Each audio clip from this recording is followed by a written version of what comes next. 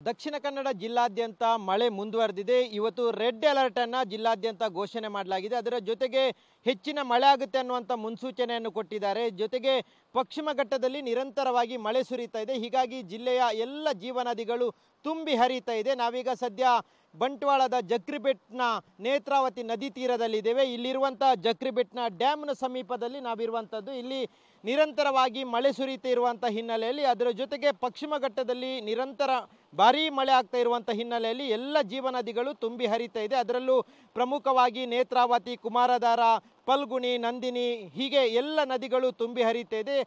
ಪ್ರಮುಖವಾಗಿ ಧರ್ಮಸ್ಥಳದ ಮೂಲಕ ಹರಿದು ಬರುವಂಥ ನೇತ್ರಾವತಿ ನದಿ ಏನಿದೆ, ಬಂಟ್ವಾಳ ಭಾಗದಲ್ಲಿ ಇಷ್ಟೊಂದು ದೊಡ್ಡ ಪ್ರಮಾಣದಲ್ಲಿ ನದಿ ನೀರು ಹರಿದು ಹರಿದು ಹೋಗ್ತಾ ಇರುವಂಥದ್ದು ಇದು ಸಮುದ್ರ ಸೇರಲಿಕ್ಕೆ ಹೋಗ್ತಾ ಇರುವಂಥ ರಭಸವಾದ ನೀರನ್ನು ನಾವು ಇಲ್ಲಿ ಗಮನಿಸಬಹುದು. ಇಲ್ಲಿರುವಂಥ ಜಕ್ರಿಬೆಟ್ನಲ್ಲಿ ನಿರ್ಮಾಣದ ಹಂತದಲ್ಲಿರುವಂಥ ಆ, ಅಣೆಕಟ್ಟು ಏನಿದೆ ಇದು ಕುಡಿಯುವ ನೀರಿಗಾಗಿ ಉಪಯೋಗ ಮಾಡಲಿಕ್ಕೆ ನೀರು ಸಂಗ್ರಹಣ ಮಾಡಲಿಕ್ಕೆ ಅಣೆಕಟ್ಟನ್ನು ನಿರ್ಮಾಣ ಮಾಡಲಾಗ್ತಾ ಇದೆ. ಸದ್ಯ ಈಗ ಈ ನಿರ್ಮಾಣ ಹಂತದಲ್ಲಿರುವಂಥ ಅಣೆಕಟ್ಟಿನ ಎಲ್ಲ ಗೇಟ್ಗಳನ್ನು ತೆರೆದು ಓಪನ್ ಆಗಿ ಬಿಡಲಾಗಿದೆ. ಅಂದರೆ ಅಷ್ಟೊಂದು ಪ್ರಮಾಣದಲ್ಲಿ ನೀರಿನ ಹರಿವು ಹೆಚ್ಚಾಗಿದೆ. ಈಗಾಗಲೇ ಈ ಭಾಗದಲ್ಲಿ ಆರು ಪಾಯಿಂಟ್ ಒಂದು ಮೀಟರ್ನಷ್ಟು ನೀರಿನ ಏರಿಕೆ ಆಗಿದೆ. ಹಾಗಾಗಿ ಮತ್ತಷ್ಟು ನೀರಿನ ಪ್ರಮಾಣ ಏರಿಕೆ ಆದರೆ ಆತಂಕ ಇರುವಂಥ ಕಾರಣಕ್ಕಾಗಿ ಈಗಾಗಲೇ ಗೇಟನ್ನು ತೆರೆದು ಬಿಡಲಾಗಿದೆ. ಹಾಗಾಗಿ ನೀವೊಂದು ಇಷ್ಟೊಂದು ದೊಡ್ಡ ವಿಶಾಲವಾದಂಥ ನದಿಯನ್ನು ಗಮನಿಸೋದಿದ್ದರೆ ಅದರ ರಭಸ ಎಷ್ಟು ಇದೆ ಅನ್ನುವಂಥದ್ದನ್ನು ಗಮನಿಸ್ಬೋದು. ಭಾಳಷ್ಟು ವೇಗವಾಗಿ ಹರಿತಾ ಇದೆ. ಹೀಗಾಗಿ ಈ ಭಾಗದಲ್ಲಿರುವಂಥ ತಗ್ಗು ಪ್ರದೇಶಗಳಿಗೆ ನೀರು ನುಗ್ಗುವಂಥ ಭೀತಿ ಇದೆ. ಮತ್ತಷ್ಟು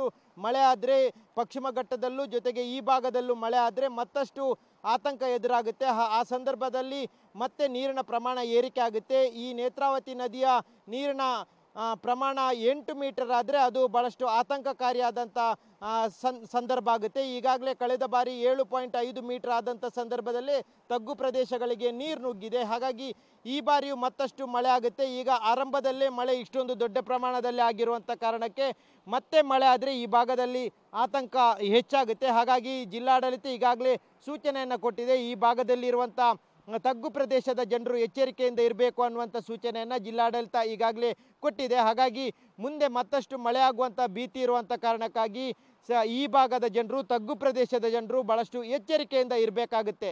ಕ್ಯಾಮ್ರಾಮ್ಯಾನ್ ನಿಶಾಂತ್ ಜೊತೆ ಸುಖಪಾಲ್ ಪೊಳಲಿ, ಪಬ್ಲಿಕ್ ಟಿವಿ, ಮಂಗಳೂರು.